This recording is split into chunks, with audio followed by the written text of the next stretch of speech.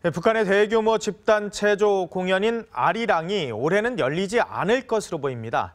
에, 아리랑은 북한의 외화벌이 수단이기도 한데 에, 김정은 체제에 맞춰서 새로운 집단 체조를 선보일 가능성도 있다는 분석이 나옵니다. 최훈정 기자입니다. 북한이 올해 대규모 집단 체조인 아리랑 공연을 취소하겠다고 북한 전문 여행사에 통보했습니다. 중국의 북한 전문 여행사인 고려 여행사는 어제 북한이 올해 아리랑 공연이 열리지 않을 것이라고 알려왔다고 밝혔습니다.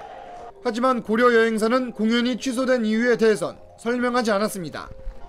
아리랑 공연은 연인원 10만 명이 동원돼 1시간 20분 동안 진행되는 세계 최대 규모의 집단 체조입니다. 2002년 김일성의 90회 생일을 기념해 처음 열렸습니다. 북한은 외국인 관광객 유치를 통한 외화 벌이와 체제 선전 차원에서 매년 아리랑 공연에 공을 들여왔습니다. 이번 공연 취소는 북한이 김정은 체제에 맞는 새로운 내용의 집단 체조를 선보이기 위해 준비 기간을 더 갖기 위한 것이란 관측이 나옵니다.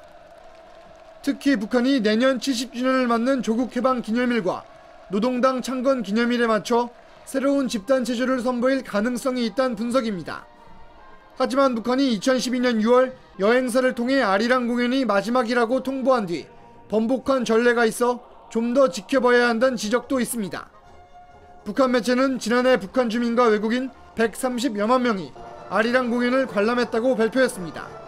TV조선 최우정입니다.